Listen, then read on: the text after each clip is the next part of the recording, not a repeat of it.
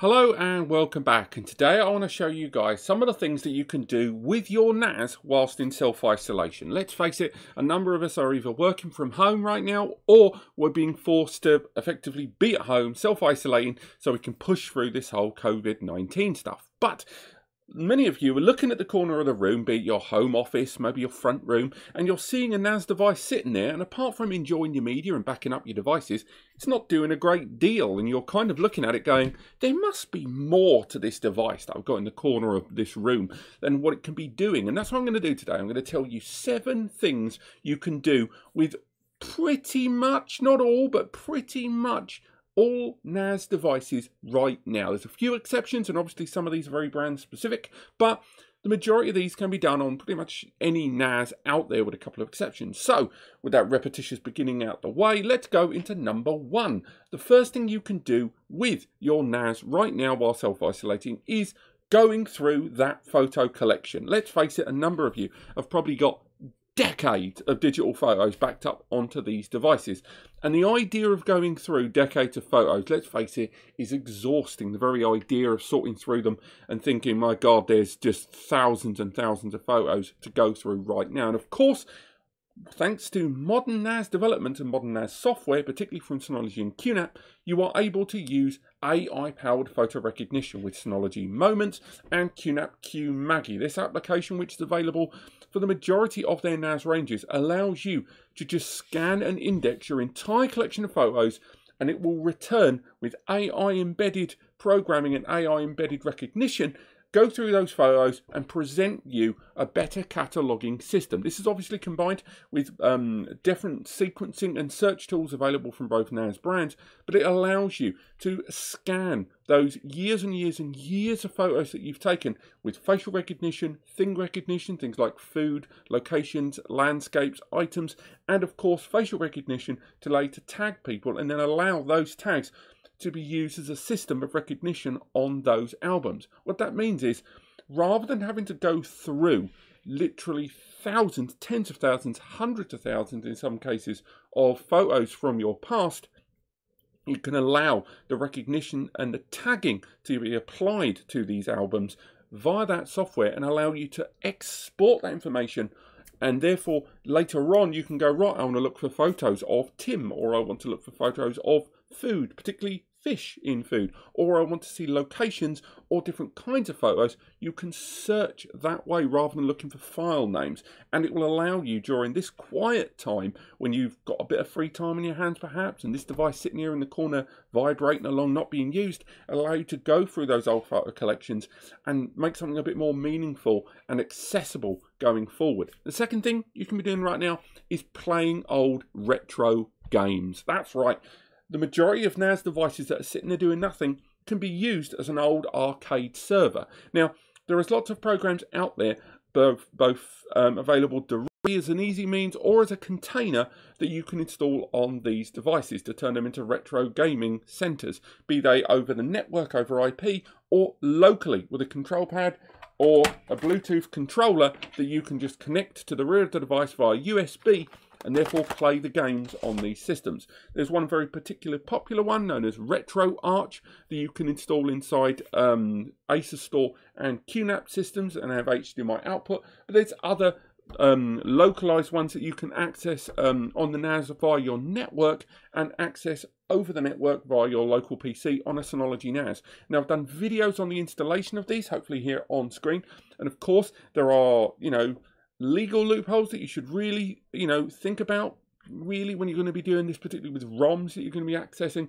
Try and go for freeware ones. I know there's a lot of freeware available on the Internet Archive. You can go there, something else I've mentioned on other videos. Um, but it'll allow you to utilize your NAS as a retro gaming server. And it's incredibly straightforward to install a RetroArch and a lot of uh, ROM packs that you can download. And there's loads of free ones out there and freeware ones or ones that have become license free that you can then access with a controller on this NAS with an HDMI output or locally via the network on a Synology NAS. The third one moving forward is to play with Linux VMs. The majority of NAS systems, as long as you've got one that's got an Intel CPU and at least a gig of memory, you can play with a Linux VM. I've been playing with this uh, quite a lot and doing videos on this for the last few weeks and in the past, of course.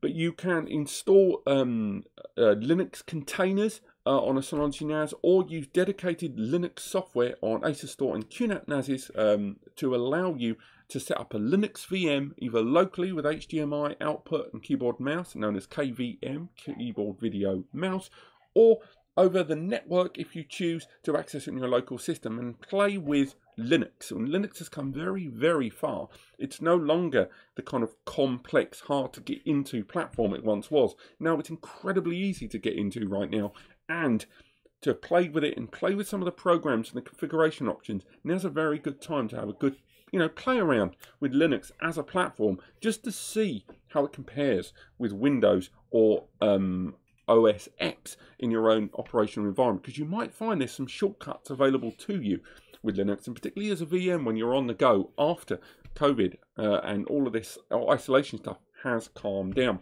Number four, make your own podcast. It really is that straightforward. The majority of NAS platforms in their unofficial app centers or on their third party app listings allow you to download the podcast generator app. It allows you to attach a microphone or pre recordings if you choose and run a podcast server from your NAS. It allows other people to hear your thoughts, what's going on right now. You can produce it. It allows you to put graphics and just host it like any other podcast and allows you to host the files from your NAS. And Podcast Generator, the more recent versions, allow you to do a lot more meta background stuff on these files and allow you to create something approaching, you know, quite high production standard. So if you've got a lot to talk about and a bit of free time, this is something you can do. And maybe it's something you've always wanted to try out. It's an option open to you.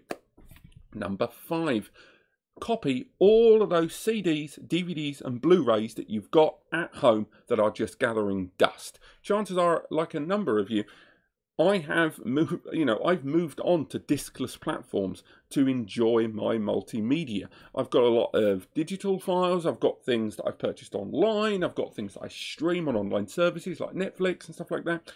And at the same time, because I'm not, you know, I'm not um, 15, 16 or whatever, I've archived a lot of optical media in my past. Music CDs, albums I've purchased, or DVDs and Blu rays that I've purchased. These are things that I still have. Now, you can buy uh, DVD readers very, very affordably. You can pick them up via USB connection pretty much anywhere, and of course, I'm talking about Amazon here, but you can connect these via the USB ports on a number of these devices and once you connect them, if you go through the compatibility list of these vendors, find the compatibility, uh, the compatible uh, CD, DVD, and Blu-ray readers that are compatible with these devices over USB, and then you can access that CD on this NAS like it would be any other kind of external media, and then you can just lift the file. Now, sometimes you're going to need a more, you know, complex program like Xcopy or some of the uh, QNAP has got a few software um, that it recommends because they've got a few NAS solutions with Blu-ray drives built in, but it allows you to rip all of that optical media into a digital form, which you can then enjoy just like all the other video files. So if you've got a bit of spare time there and you're twiddling your thumbs, that gives you something to do right now whilst killing time so you can get out of the house and converting all that optical media that some of which you've probably not watched for years into this format, you'll feel, find it quite rewarding. And you might even have some old stuff on there that you just can't download anywhere online. So that's something to try out. Next, number six, taking advantage of the surveillance software inside the NAS. Now, technically, a number of you are probably going to be doing this anyway, but the reason I highlight it in my top seven things to do with your NAS while you're sat at home twiddling your thumbs is because if you don't want to go out of your way to buy IP cameras and you were thinking, oh, well, it's nice to have that software, but these cameras are 30 to 50 quid a pop. Well, it's not necessarily that tough to use cameras. You have two main options if you don't want to spend anything. If you've got old mobile phones knocking around your home, old Android phones, that don't even have to be very modern ones at that, you can convert these into cameras for surveillance. QNAP allows you to install an application to convert your phone into an IP camera to be picked up by its surveillance station and QVR Pro software, and you just need to make sure there's a battery source, or you can utilize um, third party apps like IP Cam and stuff like that to convert old phones into IP cameras as well. If you're a Synology user, Synology have actually got a couple of very good programs that you can take advantage of that allow you to live stream from a mobile phone as well as Synology's own live cam software that we talked about last year that converts your phone into a camera for surveillance station 8.2 so if you've got old cameras knocking around you can turn these into a nice surveillance setup. And if that's not enough you can even use old webcams that you've got knocking around old USB webcams connect them into the USB ports of your QNAP NAS and allows you to use those as cameras in that surveillance setup using a US uh, cam to USB software that they arrive with and you can download completely for free. Even the um, Synology application allows you to live stream those feeds as well in case you want to utilize those cameras to talk with people online and communicate with people who are also in self-isolation. Now, there's a lot you can do with live streaming those cameras. You can even host a complete live stream if you want uh, with D2J, um, I believe it's known as, from QNAP that allows you to do a whole YouTube live stream or third party without YouTube live stream to viewers, family members, and friends directly from any of these camera means that I've just talked about from the NAS. And it's something to play with, and you can use old webcams or even your existing phone or an old phone if you so choose. Now, what is our number seven? Nice and simple. You can use these devices to help people. You can install applications like um, BOINC, I think it's all BOINC, whatever it's known as, or the Folding project. So folding at home that allow you to convert NASes into devices that when your CPU and memory and hardware resources aren't being actively used, it can go towards medical research where they are uh, analyzing DNA structure, analyzing the breakdown of how viruses and infections work so they can create simulations to you know come up with cures and it's something that's been running for a long time for PCs and Macs and Linux servers and NASes do that as well. You can run these programs in the background on the NAS so when it goes into standby mode those hardware resources can then be diverted and used by these projects to hopefully change lives. And these are seven things that you can be doing with your NAS whilst in self-isolation and twiddling your thumbs. Thank you so much for watching. If you found this video helpful or thought of other things that I've not mentioned, let me know in the comments. Click like if you enjoyed this, click subscribe to learn more, and I'll see you next time.